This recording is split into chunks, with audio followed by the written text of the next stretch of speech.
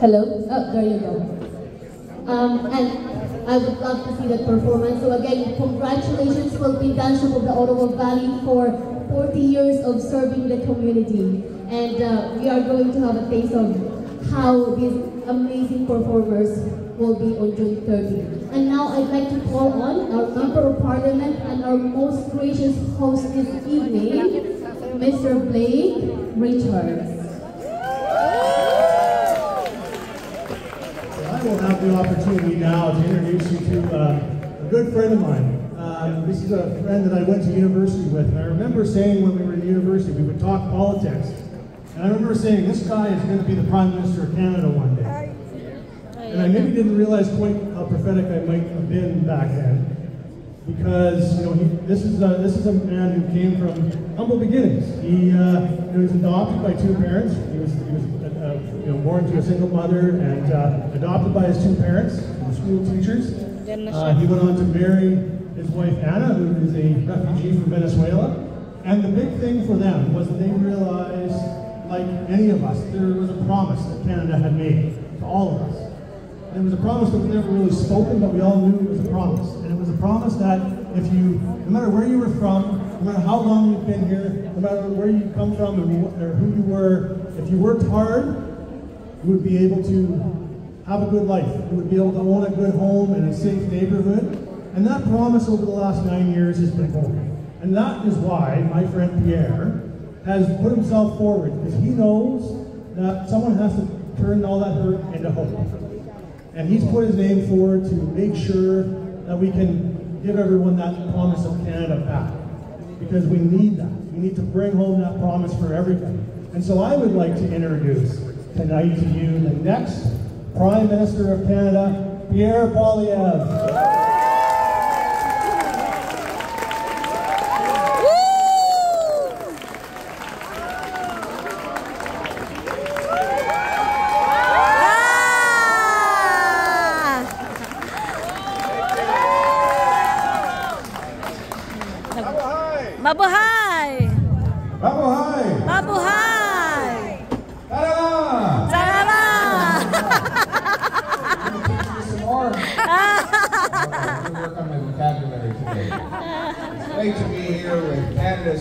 Incredible Filipino community celebrating Filipino Independence Day and the incredible contribution of the great, the great people. This is not, I think this is a liberal microphone.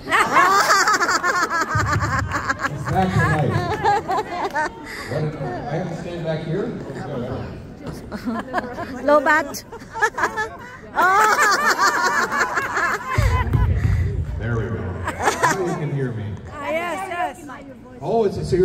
was the trick. You now want me to sing. Maybe I'm going to I'm going to work on that. Uh, our, our candidate Rachel is going to teach me how to sing. Uh, next year we'll have something to say. Does everybody know our candidate, Ra Rachel Panzalan? She's our candidate in Winnipeg.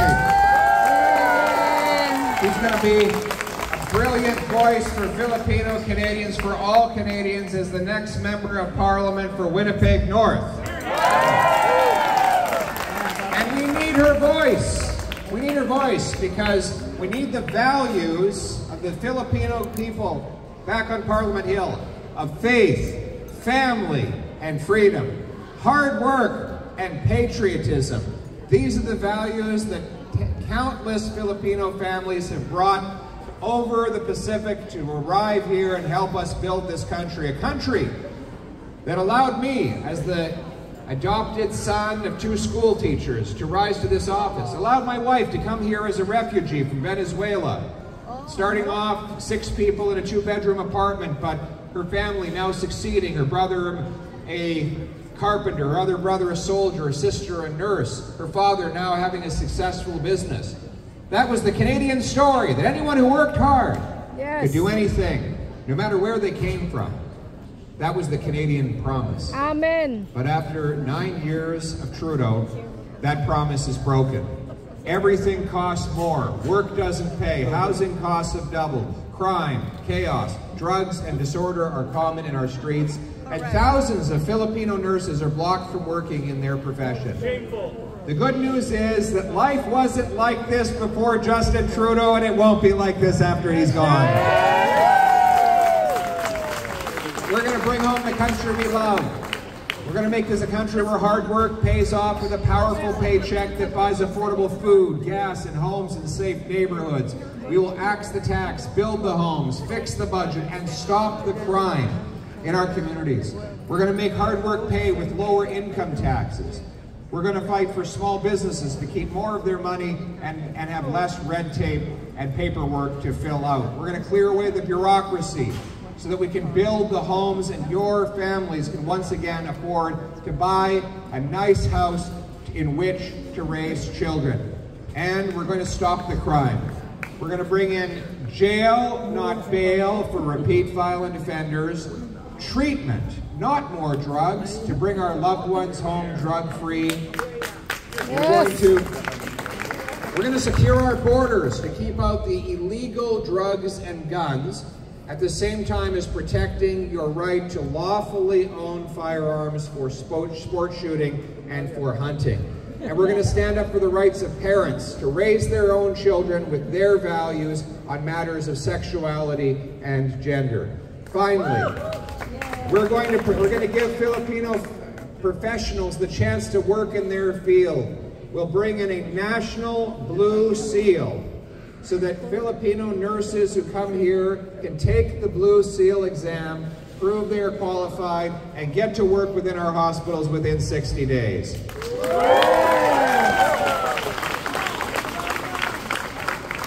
We're going to make this a country where hard work once, once again pays off, where the Canadian dream is real, where it doesn't matter where you come from, but where you're going. It Doesn't matter who you knew, it matters what you can do. A country where everybody can achieve their dreams, where you can buy a home in a safe neighborhood and, and enjoy affordable, nutritious food. A, a country where the common people are in charge based on the common sense of the common people, united for our common home. Your home, my home, our home. Let's bring it home. Tara na! Tara na! Tara na! Mabuhay! Tara na! Tara na! So Pierre is going to spend uh, as much time as is needed to make sure that everyone that like, would like a photo will have an opportunity to do that. I'll ask that people kind of line up over uh, to this side of the stage to get an opportunity to do some photos. We're going to ask though all of the conservative MPs and senators that are here tonight if you could come up to do the first group photo with Pierre and then we'll ask everybody else who'd like a photo please line up and you can have individual photos. Hindi ka naman senator. Hindi ka pa senator. Senator pa raw eh. Senator. The, the dignitaries first. Secretary. Yeah, dignitaries first. I thought it's Tara na. Yeah. Sabi niya dignitaries first. Mga senator.